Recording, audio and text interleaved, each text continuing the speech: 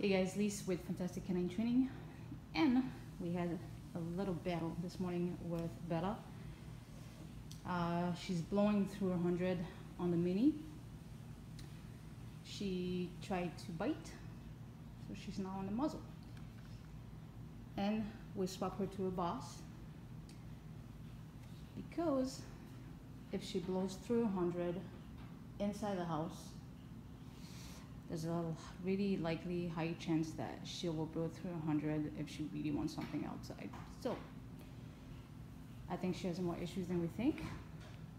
Um, she's got massive, massive amount of separation anxiety.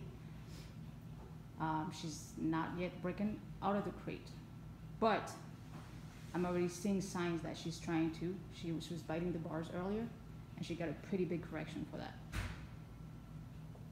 So, uh, lots of work to do, and this is just starting. We'll just have, you know, we'll have to teach her the fundamentals, but she's really, really trying to fight it. So, this week's gonna be tough. Stay tuned and check out her progress.